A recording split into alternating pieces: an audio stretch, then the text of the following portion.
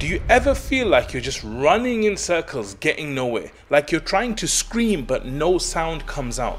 It's as if you're facing these huge, unmovable mountains in your life, and no matter how hard you try, they just won't move. What if I told you that you have the strength within you to move these mountains? Does this sound a bit far fetched? Keep watching this video and you'll find out. I came across a powerful quote that really hit home for me and I want to share it with you. The thing that separates a successful person from others isn't a lack of strength or knowledge, but a lack of will. That's quite deep, isn't it?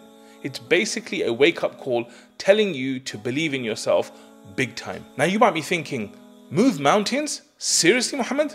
But hold on, it's not just wishing and poof, your dreams come true. Absolutely not. It's about creating that unstoppable yes I can spirit inside you. A spirit that empowers you to find the power and energy to achieve any goal you dream of, anything that you set your mind to.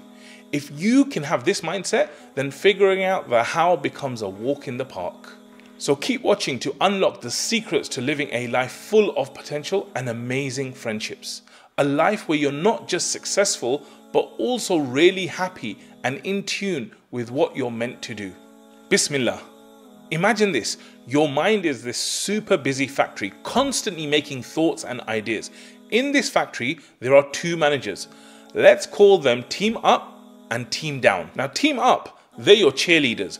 They're the ones that pump you full of good energy, pushing you to chase after what you want.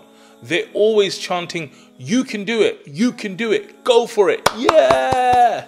Then there's the down team.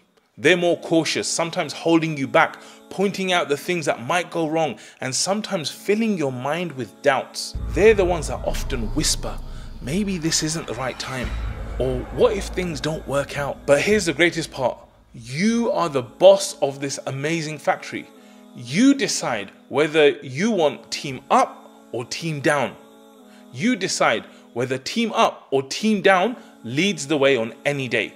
They're both always ready, just waiting for your word. Lean into negativity and team down takes it over. Make everything seem grey and full of doubt. But the moment you choose positivity, team up jumps in, turning your day into one filled with hope and action.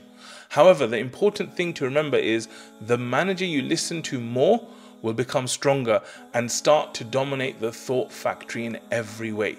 So, what's the smart move? Show team down the door. Seriously, you don't need that kind of negativity in your life. Embrace team up completely. Just let him guide your thoughts and actions, leading you towards a life of success and fulfillment. The Prophet ﷺ said, Whoever decided to do a good deed, but he didn't do it, then Allah records it with himself as a complete good deed. And if he decides to do it and actually does it, then Allah records it with himself as 10 good deeds up to 700 times or even many, many more. If he decided to do an evil deed but he didn't do it, then Allah records it with himself as a complete good deed. And if he decides to do it and actually does that bad deed, then Allah records it as one evil deed only. You see, life is like a battlefield in your mind where shaitan is constantly trying to pull you down like your own team down, suggesting that you might fail or that you might not be good enough. But we have a powerful shield, Allah's guidance. It fuels us to stay positive and hopeful, building up our inner team up with patience, thankfulness, and strong faith in Allah's plan. Our beloved Prophet lived with an unbeatable spirit. He faced tough times with hope in his heart and a positive mindset, always seeking Allah's guidance to go through life's challenges gracefully. So how can you bring this into your life? It's quite simple. You need to consciously ignore the whispers of team down and listen to the encouraging whispers of team up so that you're charged up by the positive energy that comes from remembering Allah. Alright, time to take this to the next level. You have recognized team up and team down playing their parts in your life and you've understood it by getting some deep insights from our beautiful Deen. Now here are some tips that can help you to make your team up much, much stronger. Number one, create a success mindset. Shift your focus towards thoughts that create success, whether you're at work or at home. When faced with challenges, constantly remind yourself, I will win, inshallah. Pushing aside any thoughts of failure, approach every challenge with a strong, I can do it, inshallah. Islam teaches you to strive for excellence. The Prophet ﷺ said, When any of you prays, he should ask for Jannah Jannatul Firdaus, for it is the highest part of Jannah, and above it is the throne of Ar Rahman, and from it gush forth the rivers of Jannah. So never settle for just being average and adopt a mindset that pushes you towards achieving grand success, inshallah. Number two, recognize your value. Always remind yourself that you are capable of doing anything, even when you're doubtful. Successful people aren't supernatural. They are people who have developed a firm belief in their own abilities. Success isn't magical, it's born from deep unshakable confidence and constant effort. Islam encourages you to never sell yourself short, to recognize your potential and to work towards reaching it. As Ali radiallahu an once said, your remedy is within you, but you do not sense it. Your sickness is from you, but you do not perceive it. This means that the way to your success lies within you.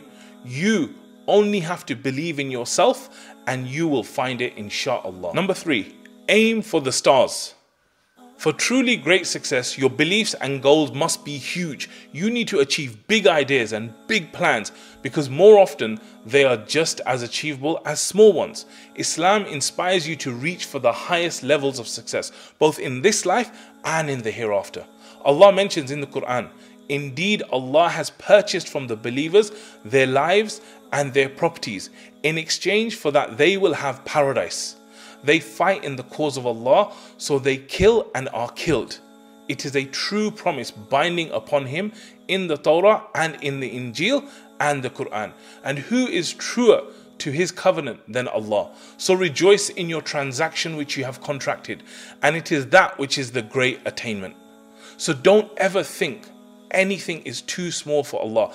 Give yourself to Him fully. Believe in Allah and in yourself, and you shall succeed both in this world and the hereafter, inshallah. Alright, it's time to end this. You've been soaking in all the life changing tips, I hope, and now it's time for you to make them a part of you. Think of this as the moment when everything clicks. You already have the solution inside you, just like Ali radiallahu an taught us. It's time to find them, let them shine and aim for the stars. So get ready for an amazing transformation.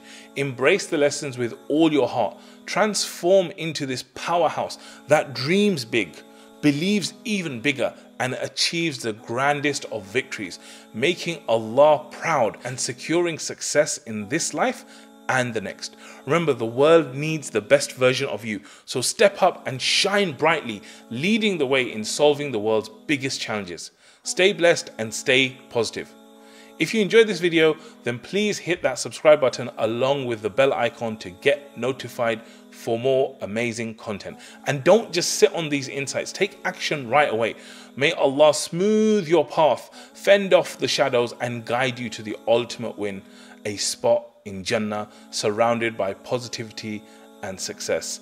Ameen. I'm eager to hear your thoughts on this. What resonated with you? What would you like us to explore next? Feel free to share your thoughts in the comments below. Until next time, take care and assalamu alaikum.